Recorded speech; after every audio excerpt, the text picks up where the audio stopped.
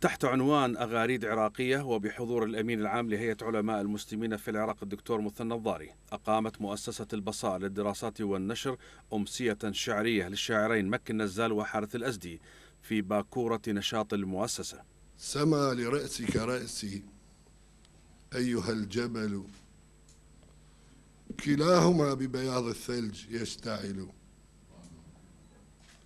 أتيت أحمل آلاما وأدعية ولم يغب عن مآسي غربتي الأمل.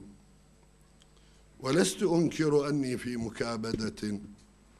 في غربة لم يغب عن وجهها الخجل.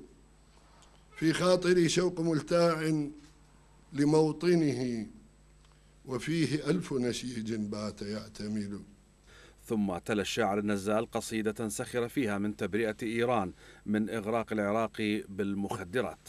ويل لنا من جارنا الملعون. لم يأت منه الخير منذ قرون.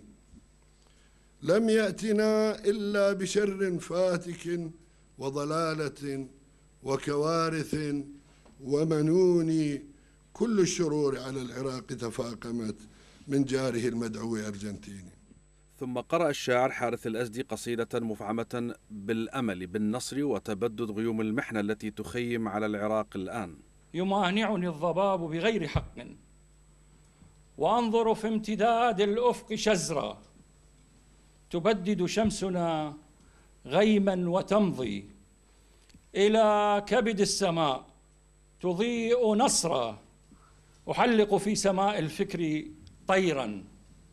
ويحملني الهواء الطلق صقرا ويؤنسني القريض به اشتهاء.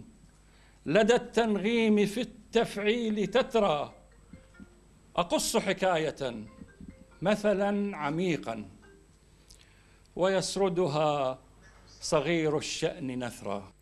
وعن التشتت والتيه الذي يلف العراق بعد محنة الغزو الأمريكي كانت القصيدة الثانية للشاعر حارث الأزدي. سأسأل قومنا جمعا وفردا أيهنأ فاقد ذبحوا بلاده؟ سأسأل كل من عاشوا نزوحا ترى هل أدرك الباغي عناده؟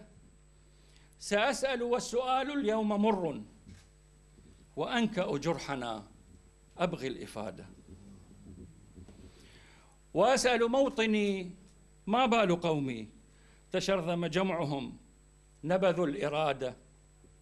وأسأل نخلنا يا نخل ماذا؟ وقوفك شامخا وبلا قيادة. أمسية البصائر الشعرية كانت فرصة سانحة لالتقاء عدد من الأدباء والشعراء العراقيين والعرب الذين تقاسي أوطانهم نفس المعاناة والمأساة التي تمر بها البلاد العربية.